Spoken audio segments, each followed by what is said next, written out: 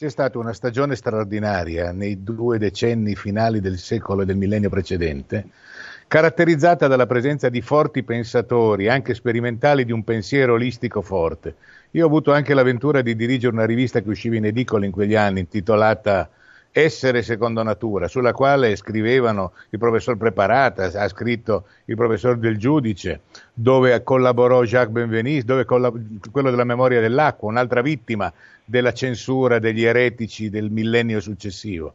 E ci sono stati dei pensatori formidabili, appunto, li avete già citati, pensate a Fleischmann e Pons, che hanno dimostrato la possibilità che due elettrodi metalli di reazioni particolari, elettrochimiche, si svolgono all'interno durante un semplice processo elettrolitico per un processo di fusione fredda, producano più corrente di quanta ne venga utilizzata per scindere l'acqua, per esempio. Ci sono stati pensatori come Jacques Benveniste, che hanno studiato la memoria dell'acqua, cioè il fatto che in quei reticoli ipercoerenti studiati dal professor Preparato e dal professor Del Giudice si deposita una memoria, lui pubblicò quel lavoro su Nature, sulla degranulazione dei basofili, utilizzate semplicemente con acqua memorizzata da una certa agitazione molecolare che cambiava la configurazione coerente degli ossidrili che formano tra di loro, come ha spiegato adesso il collega, un reticolo coerente, ma venne perseguitato, era direttore dell'Inserm, uno dei più grandi laboratori di immunologia francese, Jacques Benveniste, ed era amico di Preparata ed era amico di Del Giudice, conobbe Fleischmann e Pons,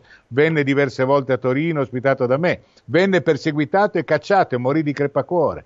Lo stesso è accaduto a Fleischmann e Pons, che sono stati emarginati, ma ci sono state altre ricerche straordinarie in quegli anni. Per esempio quella sulla cosiddetta trasmutazione degli elementi, legati a un'antica teoria di Chevran, per la quale dentro la materia vivente tu puoi andare a cercare più azoto o più carbonio di quanto non ce ne fosse all'inizio, perché avvengono delle reazioni nucleari che cambiano la configurazione degli atomi, non delle molecole, all'interno di un processo della vita. Insomma, è stata una stagione straordinaria.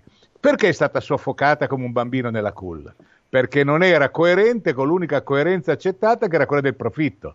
Come spiegava il mio maestro Laborico, il quale incontravamo anche queste persone a Parigi, dove io ho lavorato per anni, dovete ricordare che diceva Labori, un po' ironizzando, lui che era un biochimico, un farmacologo, io ho campato abbastanza bene perché ho potuto per la grande farmindustria brevettare molecole. Lui brevettava delle molecole, la clorpromazina, per esempio, il primo psicofarmaco, la minaprina, le, il, il, micidiale GABA, l'acido gamma idrossibutirico, che però quella droga dello stupro che però lui utilizzava nelle anestesie.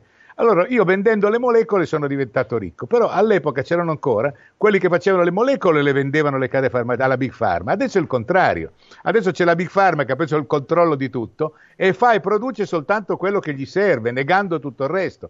Quindi questa ricerca libera, questa ricerca olistica, questa ricerca basata sulla sfida della complessità, questa ricerca basata sullo studio dei frattali, questa ricerca basata sulla dimensione formale della coerenza della scienza, capito? Che è dinamica, che è passionale, che è creativa, che è evolutiva, che è olistica, appunto, cioè che studia le cose nell'insieme, nelle loro relazioni e che considera le relazioni tra le cose più importanti delle cose, è stata strangolata come un bambino nella culla, come gli innocenti di Erode.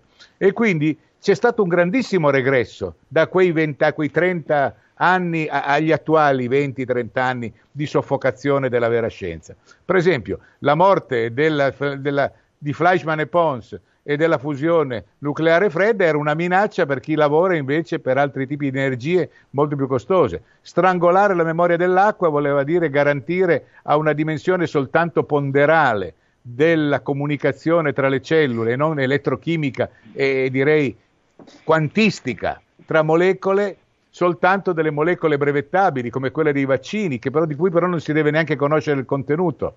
Soffocare gli studi sulla trasmutazione degli elementi voleva dire eliminare il paradigma che dalla tavola di Mendeleev non si può uscire.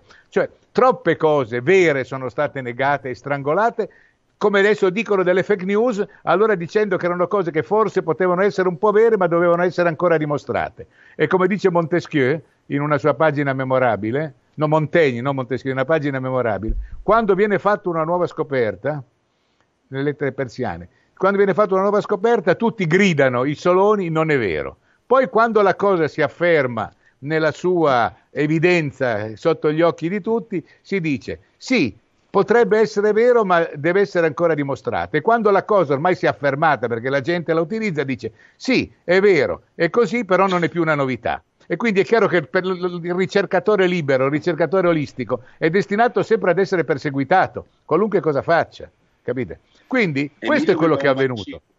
Emilio aveva un vaccino perché a lui non interessava poi il risultato scientifico, il successo. Come, si, come non interessava già, nessuno, era come non interessava eh, nessuno di questi...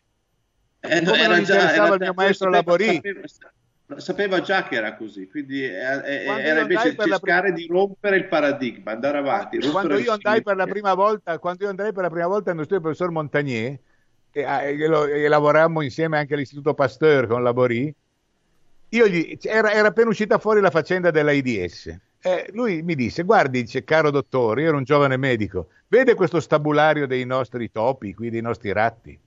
Allora, se io, questi ratti fossero colpiti da, come dicono adesso sull'IDS, da un virus letale, sessualmente trasmissibile, io dopo due o tre generazioni, quanti topi ho in questo stabulario? E la risposta è ovvio, nessuno, evidentemente. Allora, se vi dicono che l'AIDS è un virus letale, sessualmente trasmissibile, lei sa che in questo momento in Uganda si stima che ci sia un tasso di sieropositività di circa il 70%?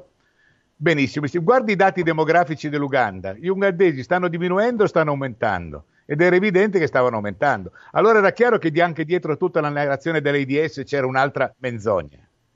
Soltanto che capirono che non funzionava abbastanza, nonostante anche tutto il business della Big Pharma su questo. Io con questo non voglio dire che Big Pharma è sempre colpevole, tutti gli altri sono santi. Dico che soffocare la libera ricerca non finanziata dai commercianti, non finanziata dai mercanti, non finanziata dagli uomini del, dell'UEF di, di, Davos, i demoni di Davos, è stata un grande, una grande perdita per l'umanità. Ed ha ragione Fabio, bisogna ripartire di lì. Bisogna ripartire da questa libera ricerca olistica basata sulla sfida della complessità, non soffocata nella culla dai demoni della Big Pharma.